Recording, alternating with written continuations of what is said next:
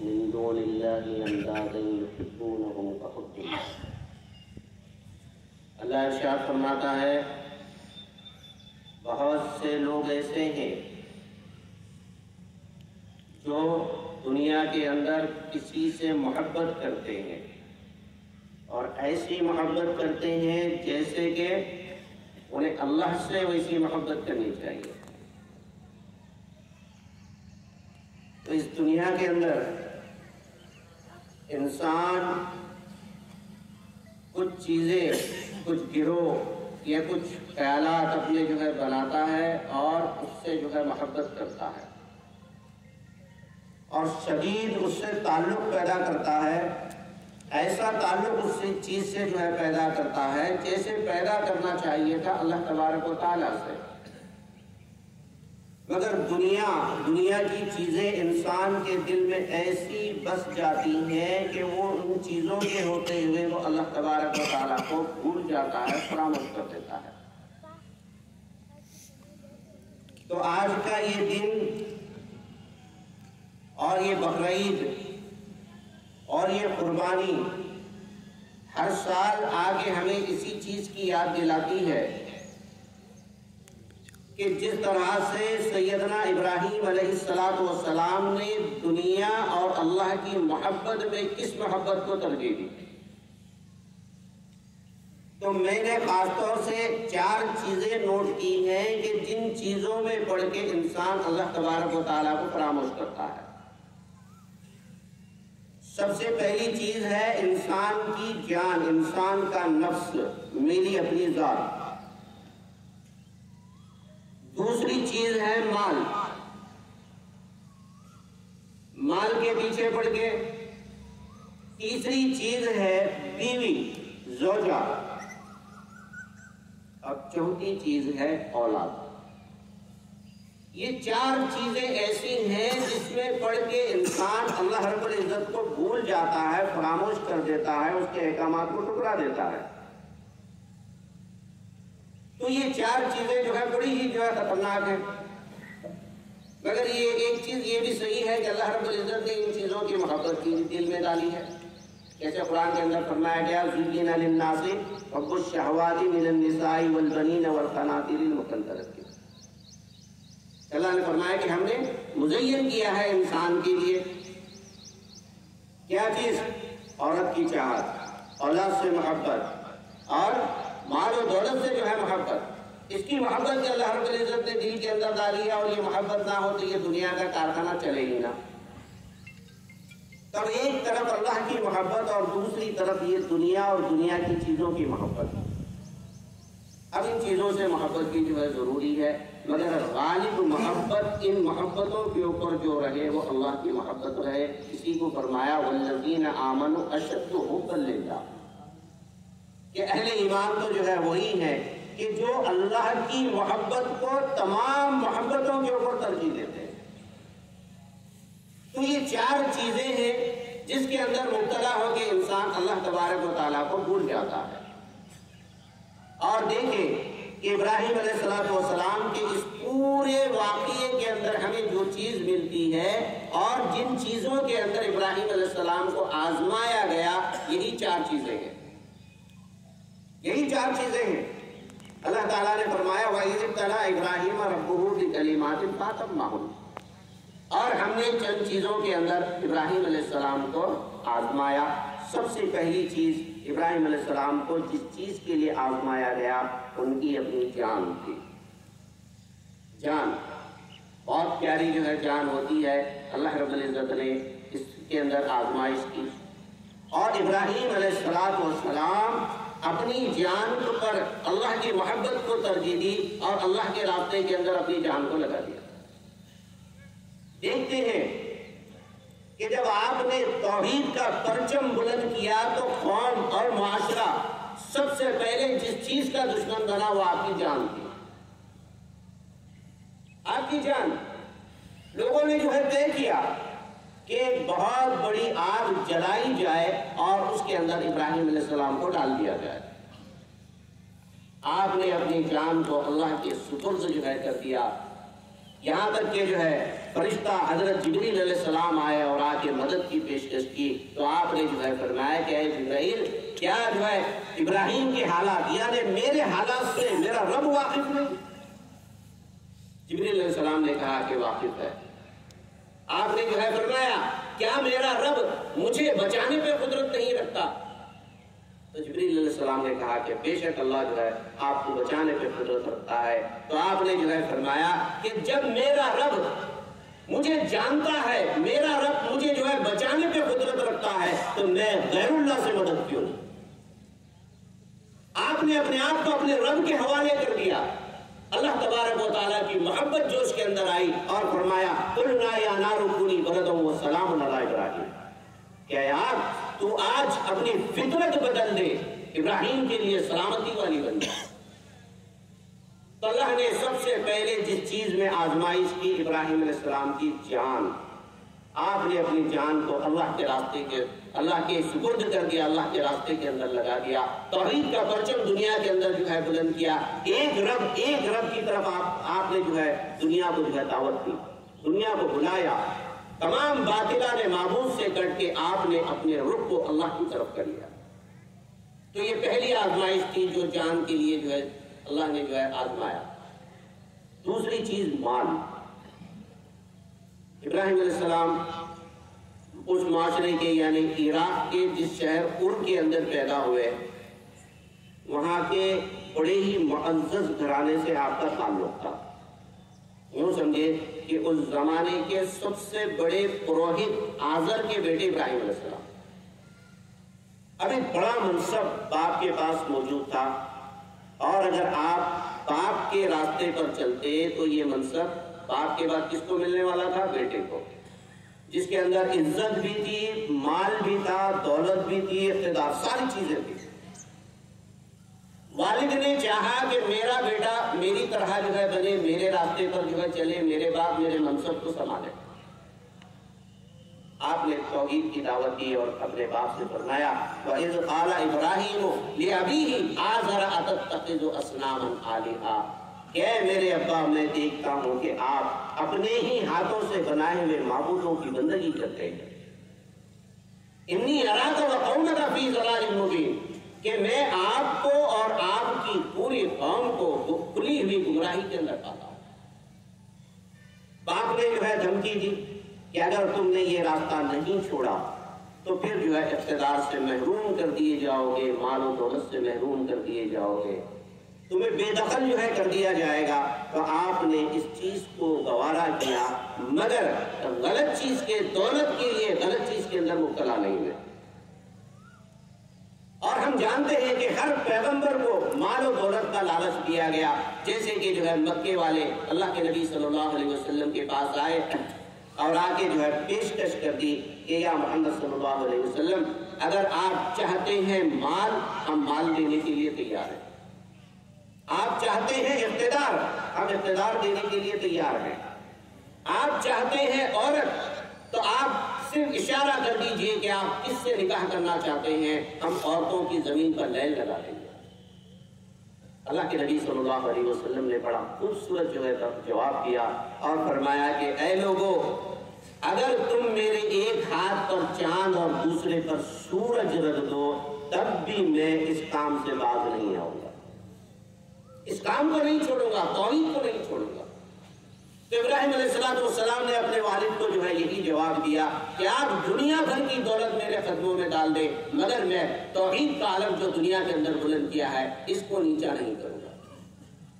बाप ने जो है बेदखल कर दिया, माशरे ने जो है बैकाट कर दिया, और हज़रत इब्राहिम सलाम को अपने शहर से हिजरत करनी पड़ी और आपने हिजरत करके फलस्तीन को अपनी जाय करार बनाई। और वहीं पर सकूलत पजीर हुए और वहीं पर आपने दावत और तबलीग का काम किया। फिर उसके बाद ये तो दूसरी आजमाइश थी जो इब्राहिम सलाम की हुई और आपने माल को ठुकरा कर अल्लाह तबारक की मोहब्बत को तरजीह दी। तीसरी चीज़ बीवी जोजा।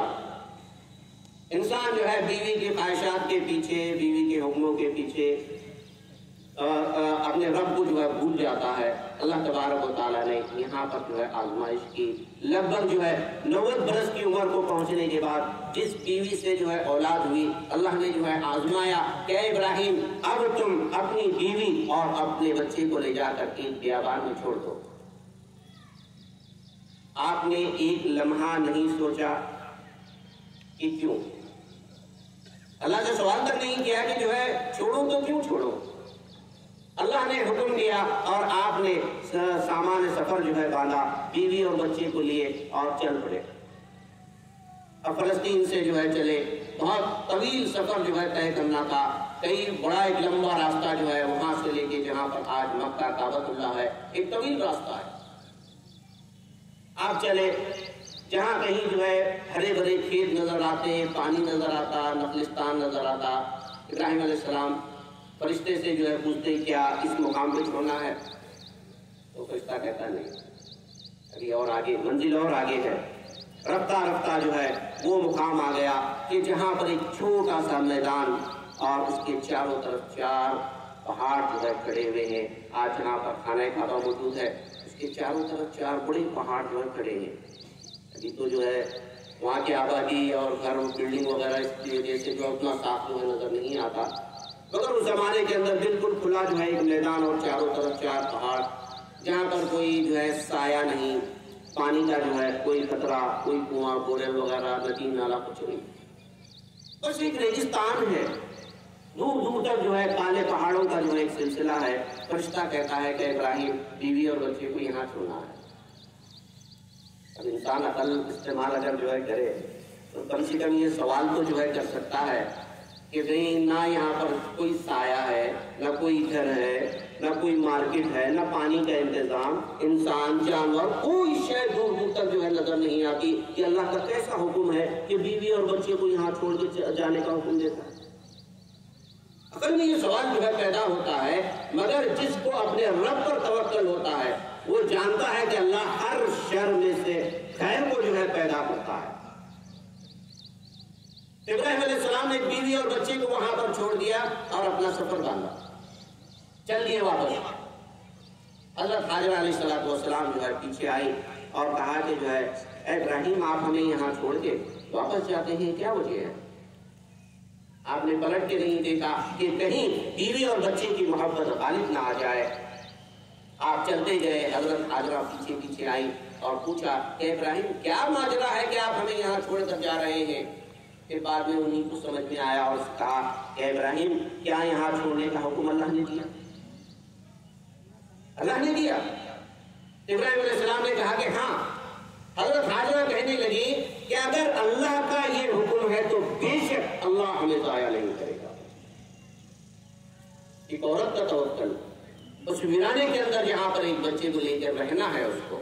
कैसा तवक्ल अल्लाह रब्बुल इज़्ज़त के ऊपर जो है किया कि अल्लाह तबारक ताला ने उस बियाबान को, उस वीराने को, उस सहरा को आज आप देख सकते हैं कि जो है कैसी रौनक जो है जगह है कि पूरी दुनिया से हर साल लाखों हाजी हर साल उस घर का जो है तवाफ करने, जियारत करने के लिए जो है जाते हैं। ये उस तवक्ल का नतीजा था जो अल्लाह रब्बुल ने आज उस शहर को पुरान और बिल्कुल आबाद कर दिया। तो ये तीसरी आजमाइश थी जिसके अंदर हज़रत इब्राहिम सलाम पूरे उतर गए अब आई बारी चमकी आजमाइश की।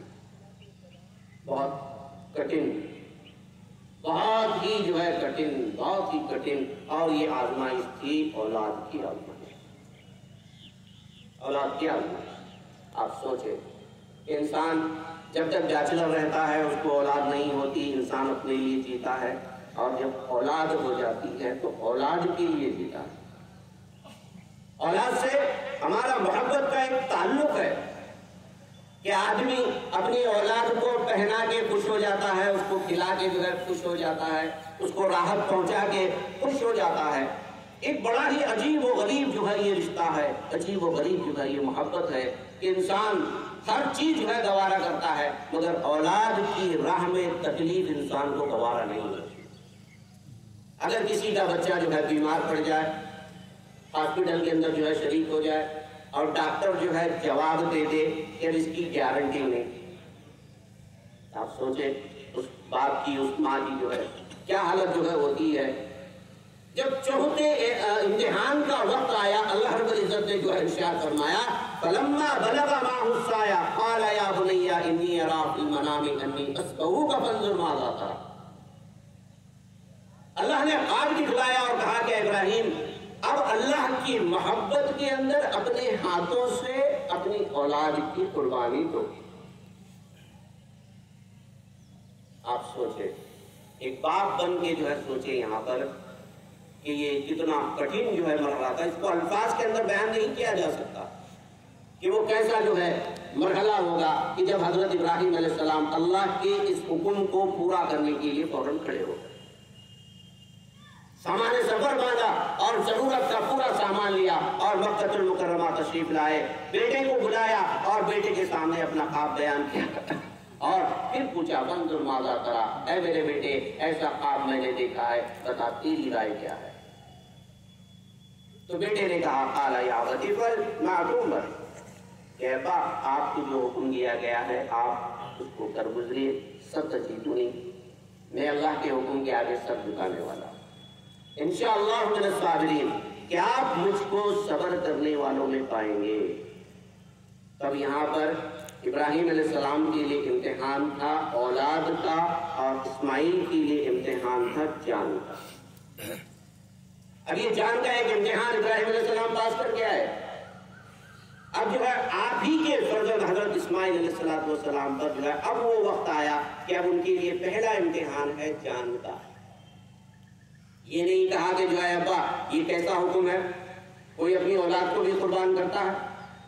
बल्कि आपने जो है कहा कि आपको जो हुक्म दिया गया है, कर गुजरिए। मैं भी अल्लाह के आगे अपने सर को झुकाता हूँ और इंशाला उस चीज़ पर, उस तकलीफ़ के ऊपर सबर करता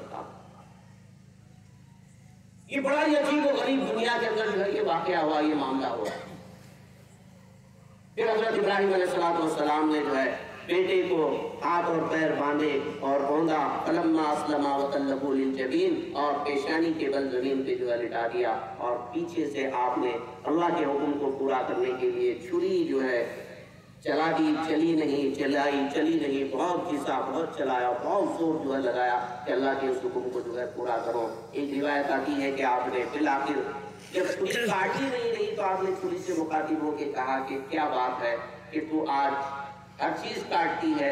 जब मैं अल्लाह के हुक्म को पूरा करता हूँ तो तू नहीं चलती बता, रिवायत के अंदर आता है कि छुरी को अल्लाह ने बोलने की ताकत दी और उसने कहा कि इब्राहिम, तू चाहता है चल जा, तेरा रब चाहता है न चल। रब चाहता है न चल। मैं रब की मानू या तेरी मानू? अल्लाह रब्बुल इज़्ज़त जो है, बड़ा ही जो है खुश हुआ। और जो है उसके बदले में जो है आपके लिए हज़रत इस्माइल की जगह एक दुम्बा आसमान से जो है उतारा और इब्राहिम सलाम को जो है फरमाया तब तर रोया इन कि बेशक इब्राहिम, तुमने अपने पाप को सच कर दिखाया, मगर हम हर शख्स को उसकी नीयत के हिसाब से, उसके अमल के हिसाब से बदला देते हैं। तो बेटे के बदले तुमने की जो है कुर्बानी दी और इस पूरे उसवाए इब्राहिमी को अल्लाह तबारक ने कितना पसंद किया, कितना पसंद किया। कि कयामत तक के लिए आपकी एक एक अदा एक एक सुन्नत को पूरी मिलत इस्लामिया के अंदर महफूज कर दिया। महफूज कर दिया। तो भाइयों, हर साल जब ये बकरीद आती है तो हम मुकर्रीन से इब्राहिम सलाम की ज़िंदगी के ये वाक़ जो है सुनते हैं। हमें जो है मालूम है कि क्या कुछ जो है वहाँ पर जो है हुआ। तो ये चार चीज़ें जो है इस वाक़े से मैंने जो है नोट की थी कि यही वो चीज़ें हैं जो अल्लाह रबुल्जत से बंदे को दूर करती हैं और इन्हीं चीज़ों के अंदर हज़रत इब्राहिम सलाम को आजमाया गया। वही तला इब्राहिम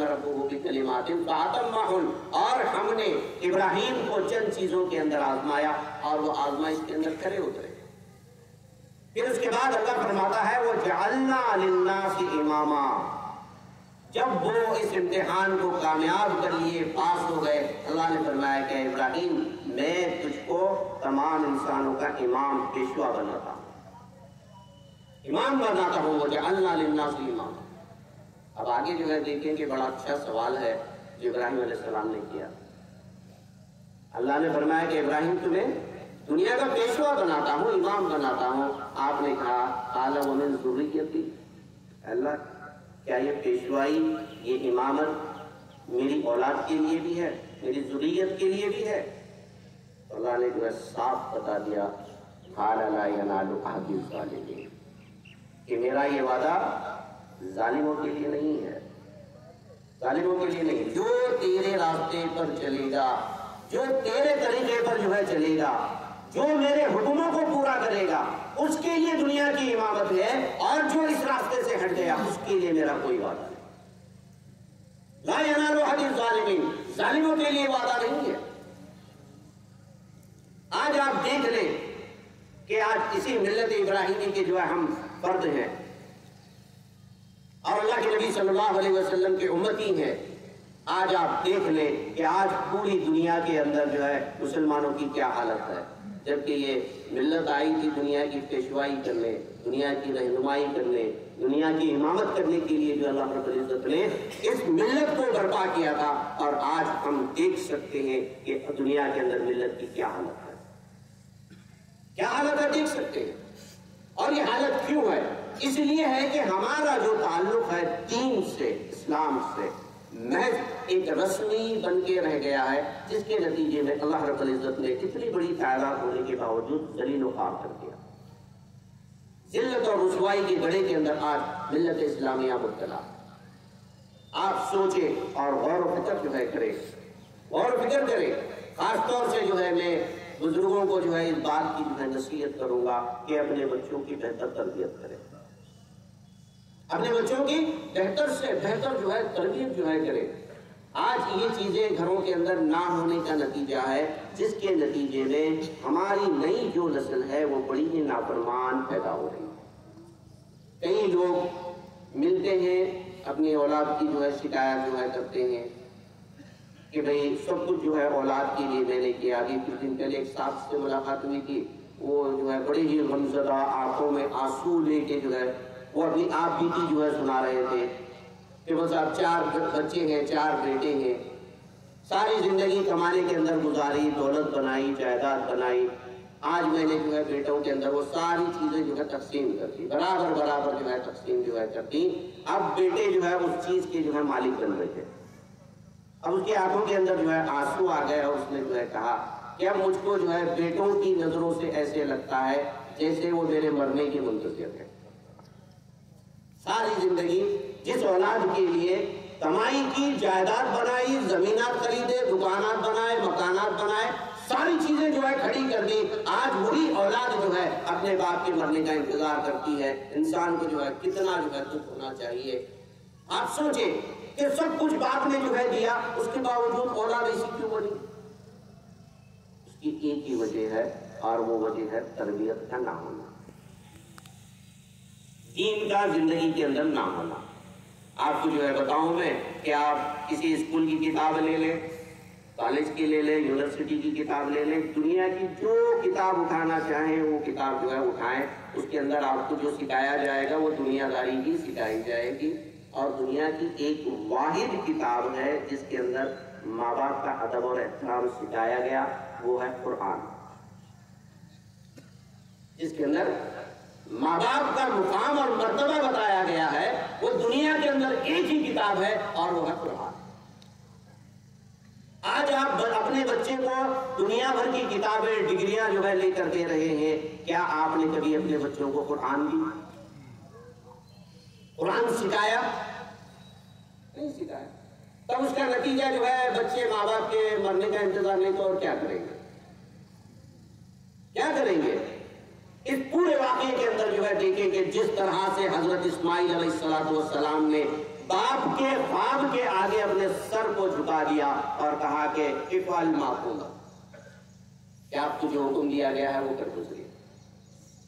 मैं आपके बाप अल्लाह के हुक्म के आगे अपने सर को जो है झुकाता हूँ। तो ये उस तरबियत का नतीजा था जो हज़रत इब्राहिम सलाम और हज़रत हाजरा सलाम ने अपने घर के अंदर अपने बच्चे की परवरिश के दौरान जो है की थी। तो ये चीज़ें अपने घरों के अंदर लागू कीजिए, अपने नौनिहालों को, अपने नौजवानों को जो है संभाले। कि आज जिस बेरारवी के ऊपर हमारी नौजवान नस्ल चल रही है, आप देख सकते हैं कि आप कल्याण का मुआयना करके देखें। पूरे विश्व कल्याण के अंदर जितने मुस्लिम महल्ले हैं, रातों के अंदर आबाद है। क्या नहीं है? रातों के अंदर जो है, आबाद है। कट्टों के ऊपर, होटलों के ऊपर हम अपनी ज़िंदगी का बड़ा हिस्सा जो है वहाँ पर कमा रहे एक बड़ा हिस्सा जो है, जाया कर दे रहे। फ़ोन के पीछे और बेकार वक्त जाया करते हुए हमारी नौजवान नस्ल जो है, ये चीज़ें जो है कर रही है। फिर उसके बाद दूसरी चीज़, अपनी लड़कियाँ। जो कॉलेज, स्कूल वगैरह के अंदर जो है पढ़ती हैं, उनकी निगरानी करना ये आप सबकी ज़िम्मेदारी है। आज हालात बहुत खराब है। इन हालात के अंदर हर वालदेन की ये ज़िम्मेदारी है कि अपनी लड़कियों की हिफाजत भी करें। और सबसे पहली चीज़ हिफाजत के लिए आप अपनी लड़की को मोबाइल ना दिलाएँ। मोबाइल ना दिलाएँ।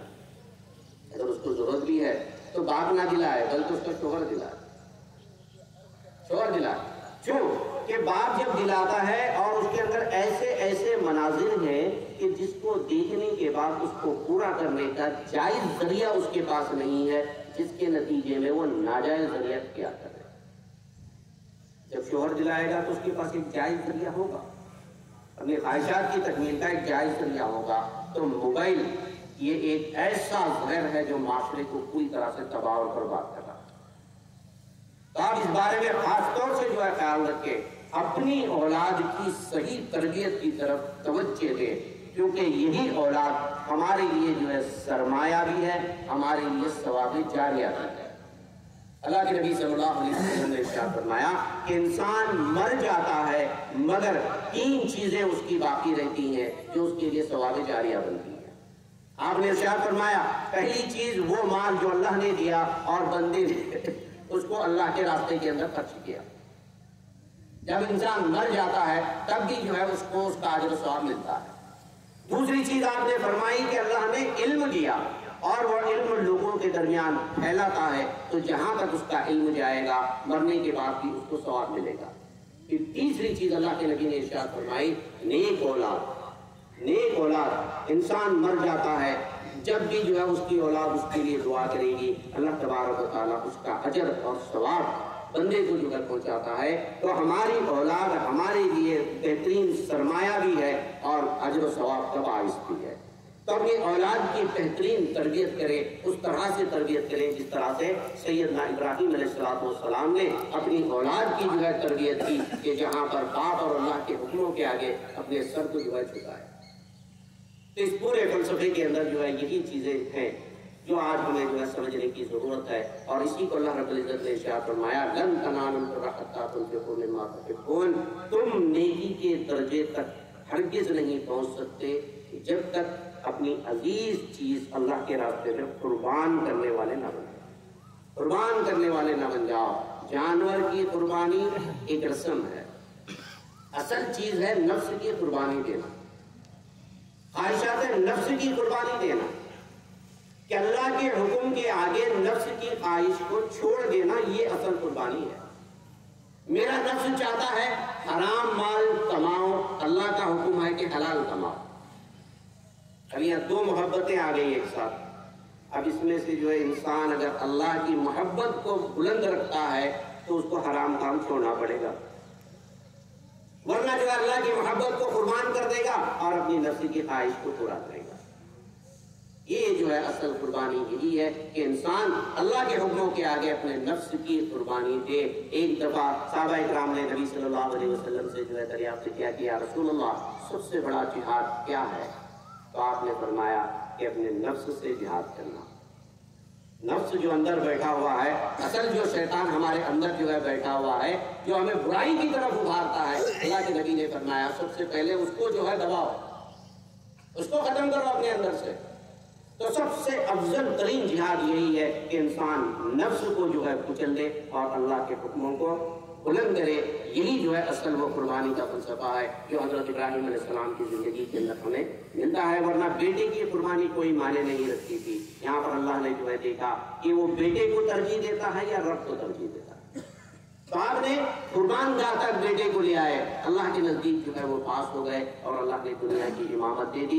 आज उम्मत मुस्लिमा के अंदर यही जज्बा अगर पैदा हो जाए कि अल्लाह के हुक्मों को हर हाल के अंदर पूरा करना है इन वो दिन दूर नहीं जब अल्लाह रबुल्ज़त दुनिया के अंदर एक मरतबा उम्मत मुस्लिमा को पेशवाई अता करे, इमामत जो है अता करे। इन्हीं चंद बातों के साथ